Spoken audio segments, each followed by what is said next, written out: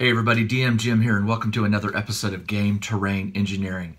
I actually didn't think I would get this video out in time. It has been an just an insanely crazy week. I had a writing project, game related, drop in my lap that had a very short um, deadline. And then on top of that, uh, if you've been paying attention to the news, there was a Hurricane Michael that um, hit the uh, Florida Panhandle, which is where I grew up. I live in Atlanta now, but I have a lot of friends and a lot of family that live all along that coastline. I've been very worried for them. My family's fine, but I have a lot of friends who are without power, uh, low on water, things like that. So for the past few days, I've kind of been spending a lot of time uh, communicating with contacts in Florida, running around Atlanta to Costco and various places trying to gather supplies so that I can um, hand them off.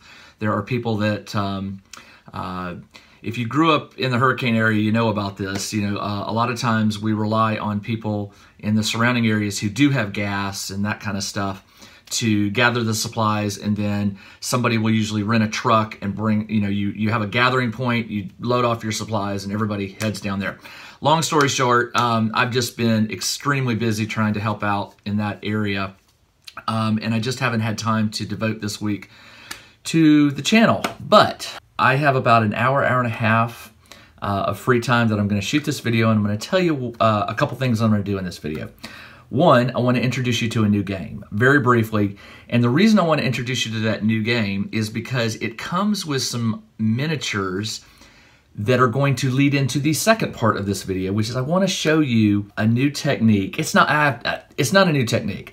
Something new for me that I've never tried before, but I'm completely blown away by it. It's a technique for painting. And again, not new. But before I show you what it is, let me tell you about the game. The game is called Wildlands. Now, those of you who know me know I am a big fan of Osprey games. Frostgrave, Gaslands, um, oh, I knew I was going to go blank on. They have a bunch.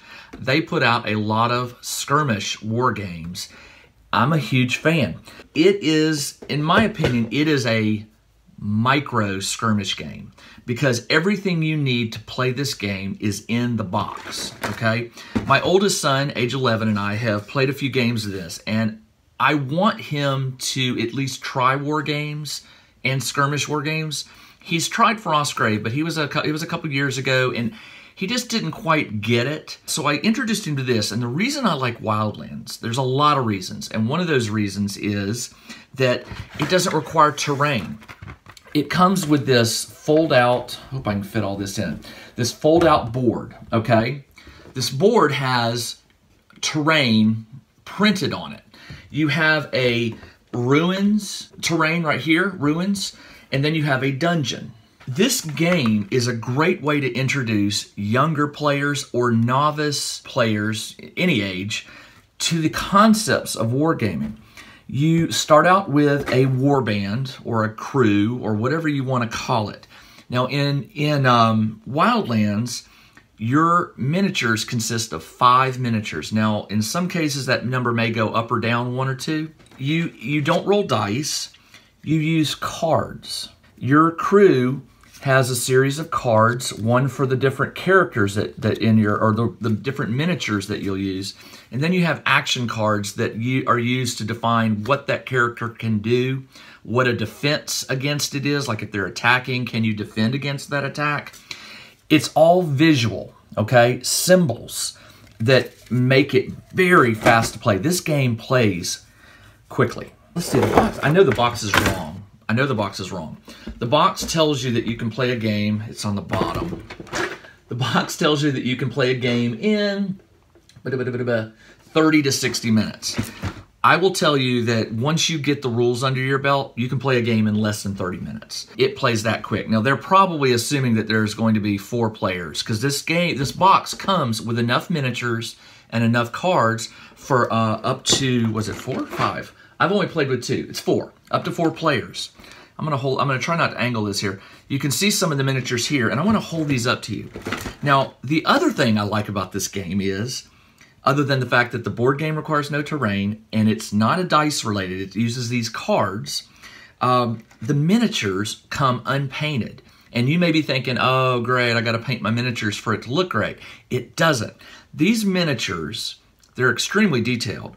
And I will take some up close photos of these and put them at the end of the video.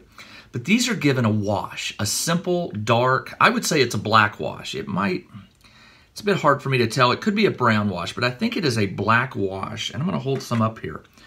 The wash is incredible. Just the just the gray piece, the miniatures and the wash. And I know this isn't doing them justice. My holding them up to the camera and the focusing is not going to do these justice.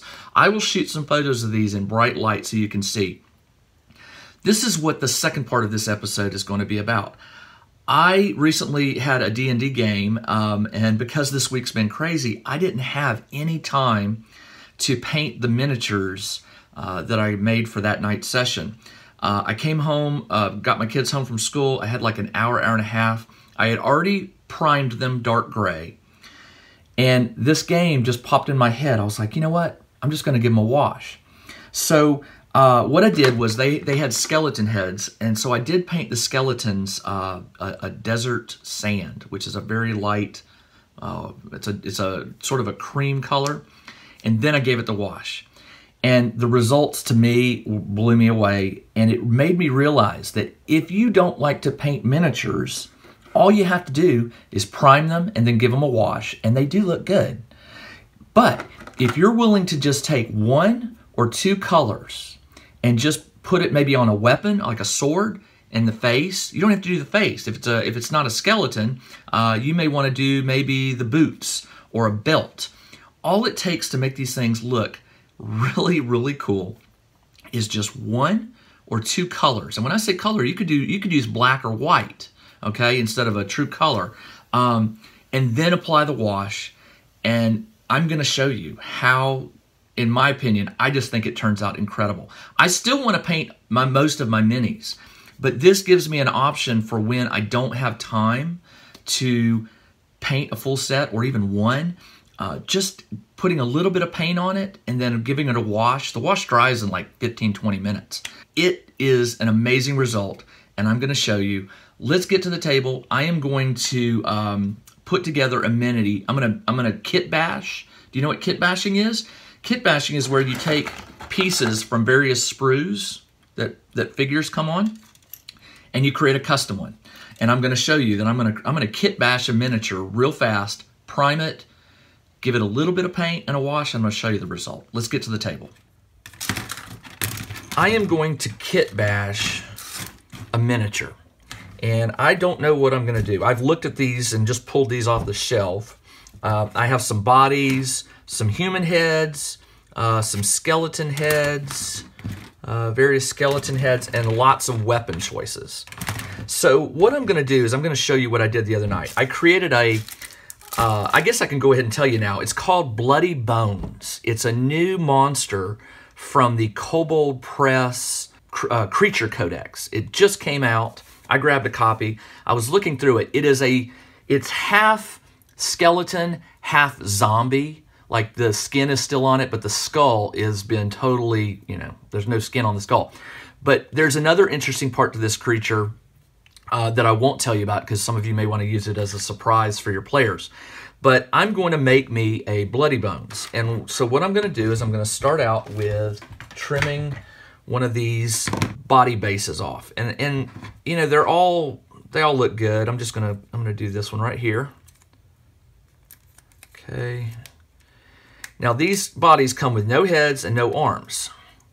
And they also come uh, on a small base here. So I'm going to trim that off.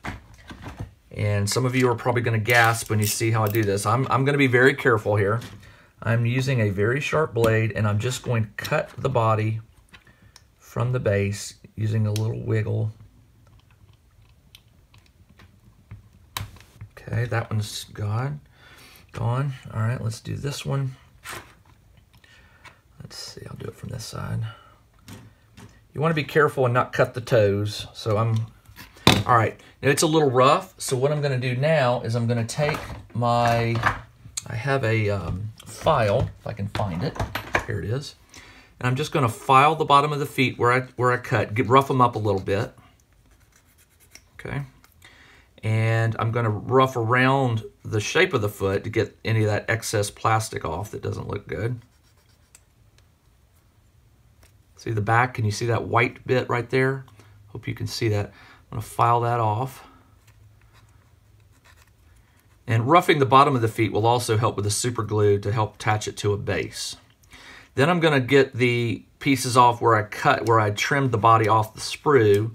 That's where one arm was. Here's another one right there. I don't know if you can see that, but just a little sanding or filing. And roughing it up will help the glue attach the arms. So now I've got the base. Let me get a base and go ahead and glue this down. What did I do with my bases? Next, I'm gonna take a base and I've just got some pre-painted here. Here's one right here. I'm gonna take this one and while I'm working on the arms, I'll let the super glue dry on the feet. It doesn't take long. Um, so just a little drop there, a little drop there. And normally I would spray a little bit of the, uh, the, the accelerator on here, but I've since learned that if you've got two flat feet, if you just, or two flat feet, if you just push this down really hard and count to about 20, uh, it, it's enough and it will stand on its own. I'm just going to keep talking. But what I'm going to do next is I'm going to get a human arm for the right arm and a skeleton arm for the left or vice versa. Just I'm going to take a look and see what I have. And I'm still holding this down, putting pressure on it. Come on, you can you can do it. Dry glue. Uh, and then I'll work on the head. The head is going to be a skeleton. Now these parts all aren't designed for this body. There we go. Um, they're not all designed for this body. So let me take a look here. So for the right arm, I have a skeleton arm holding a morning star, a scimitar, and a sword. Hmm, I like the I like the morning star, but I do like that scimitar. I'm going to go with the scimitar. I'm going to trim that. That is going to be the right arm.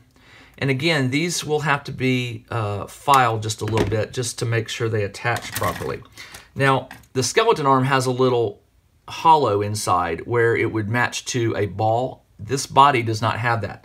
So um, I'm just gonna have to make sure the glue, to glue it really well and make sure it sticks. So I'm gonna, I'm gonna get the, uh, the curve of this scimitar sanded out so it doesn't look bad. And then where was that? It was on the ball right here. I can just sand that just a little bit. Now the connection is going to be right here. So I'm going to rough that up just a little bit for the glue. And this is going to be the right arm. It may look a little weird, but I'll give it a shot. And then for the left arm, I need a human arm. And I'm looking at this one. Uh, he's got a sword already, so maybe a dagger in the other hand. I don't see... Come on, do you have a dagger? Oh, wait a minute. Is that a left arm? There's a left arm with a dagger right there. All right, good enough. Pin that one off. Sand that down a little bit. I say sand, but you know what I mean. File it down. And then I'm going to rough up where it would connect. Like that. All right. So let's see. Did this take? Yeah. So I'm going to put the the the left arm here let me go ahead and do that. So I am going to put the drop of glue here. And then what I'm going to do is I'm going to spray some of the accelerant on the arm here.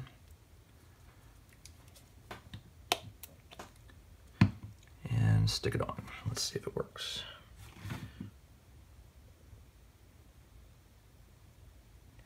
They say to hold it for about 10 seconds. Not bad. Can you see that? All right, so I have a human arm attached.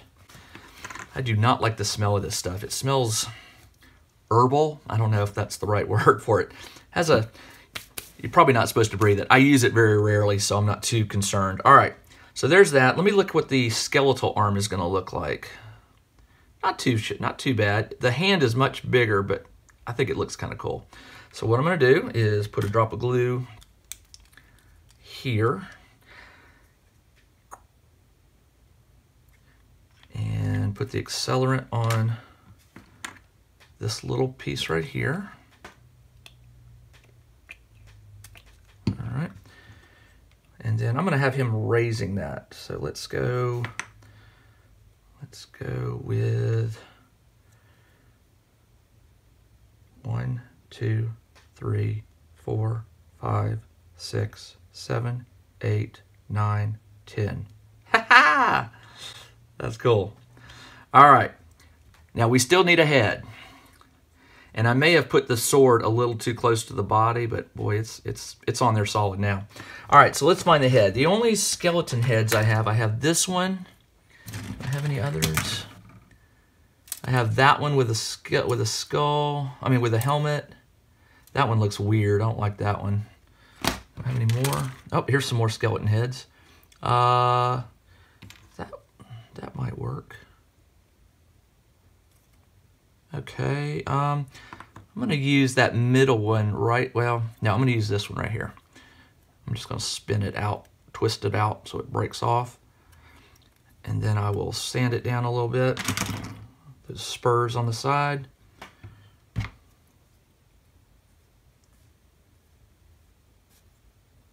Okay, and then this side, oh, this side doesn't look bad. All right, so I have a skull. So let me see. This one's going to be a little tricky because, again, the skull is designed for a little ball joint, and this one is just a, a place to set a flat head. So this one may be a little tricky. All right, so the glue is going to go on the neck, right there. All right. And the super glue doesn't dry so fast, so I've got a few seconds. I don't like touching this. I'm to have to go wash my hands, but I'm to spray the, spray the skull. I'm just to hold it here. All right, I'm to let him dry, then I'll prime him.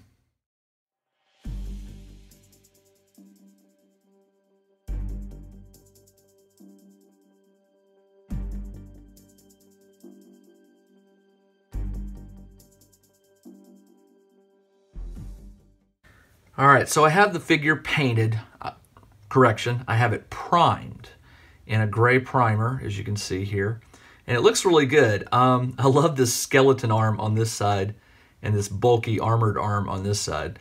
I don't know, just uh, it, it just fits. What I'm going to do right now is I'm going to apply desert sand paint to just the skull. I think I'm going to paint the scimitar silver and I think that's it. I may paint the boots uh, brown or black. And that is the only painting I'm going to do on this. And the reason for that is um, at this point, I thought I might just apply wash and just show you this, but I want to show you what I discovered was that even if you take just a primed mini and just do add a little bit of color, and it doesn't have to be color, it could be just black on the boots or a white sash or something. Just something to break up the gray. if you can do that after you apply that wash, it it's it looks intentional. It looks like you intentionally chose not to paint it and keep it very simple.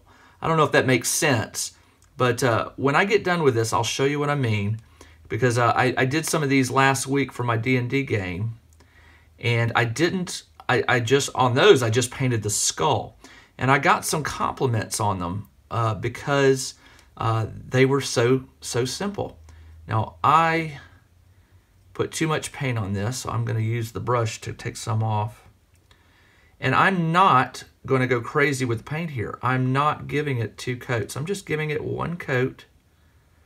Just, that's it. All right, let me pull some paint off here. I want to get it out of the eye sockets and out of the teeth. Give, give the uh, wash somewhere to go. There we go. All right. So next, what I'm going to do is I'm going to paint the sword. Let's see, I'm going to use gunmetal. I don't want it to be silver silver. I'm going to use gunmetal here, just a drop. Okay. And all I'm going to do is just hit hit the scimitar with a slightly different color. Okay, I want to get inside the edge here. And I think I'm also going to get the, is that the pommel? I think that's what they call that just the bottom part here. I'm not even really being careful with this, although I guess I am. I don't want it to be too messy. But uh, just the pommel. and the sword. So I have two different two different colors there, and I think the last thing I'm going to do is I'm going to paint the boots brown. Let's see. I'll go with just a standard brown, nothing fancy. Uh, Harvest Brown. So I'm just going to do that. And then I'll hit this with the wash and let it dry and we'll see what it looks like. All right, so the boots, just, just a little bit of brown. Okay. I'm putting it on pretty thick. I didn't water the paint down as you saw. That's okay because I know I'm going to add the wash and I'm going to thin this out anyway by just using what I have already put on there and just spreading it around. I'm not going to re-wet the brush with any more brown. Just going to use what, what I have. Okay. Some of that gray is coming through, and that's okay. I think it's going to help.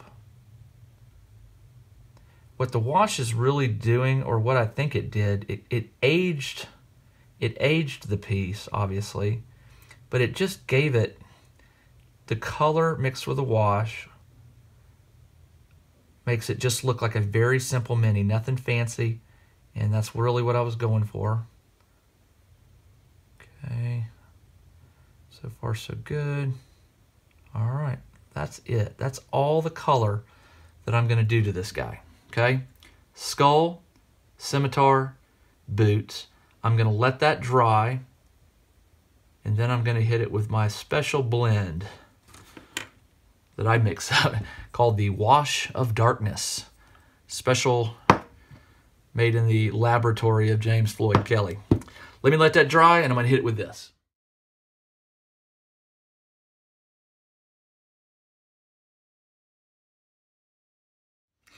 So that's it. That is how I kit bashed a creature called the Bloody Bones right here.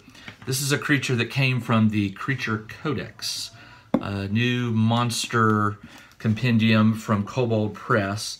I don't want to give anything away, uh, especially if you DMs have not um, introduced this particular creature to your players, but I just wanted to give you a quick one. It's right there, the Bloody Bones, right there.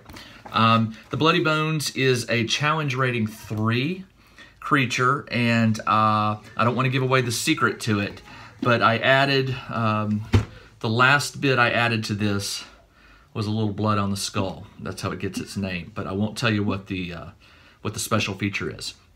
So anyway, apologies for the, the lateness in getting this video up. Uh, everybody in Florida is good. My family's good. Uh, my friends are good. They seem to be have uh, restored power to a lot of um, the the, the uh, coast, which is good. Uh, food and water and gasoline are all flowing in, so um, things are good down there. And but again, I do apologize. I just uh, had to take care of some business there. So anyway, I hope you like this. Um, I do like kit bashing. I don't do it very often, but I, I really should do it some more.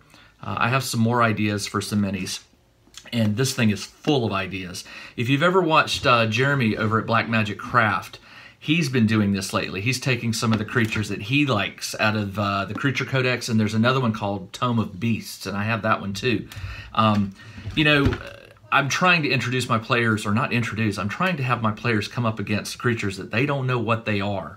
And uh, this one surprised them. They really once uh, once the special ability kicked in on this one, um, they they were a little worried, and there were two or three of these on the on the uh, tabletop. So anyway, give it a shot. Put together a mini. Uh, doesn't have to be a kit bash one, just a, a standard mini. Paint it uh, gray, prime uh, prime it in gray, and then give it a dark wash and see what you think. You may not agree with me, but I just love the way this looks. The boots are brown, but that but the gray came through and the wash just sort of aged them. Same with the skull and the weapon. There's there's color there, but it's really the wash is doing most of the work by bringing out the detail. And I didn't have to spend, as you saw, I did this in real time on this video. You saw that I was, you know, gluing it and painting and everything.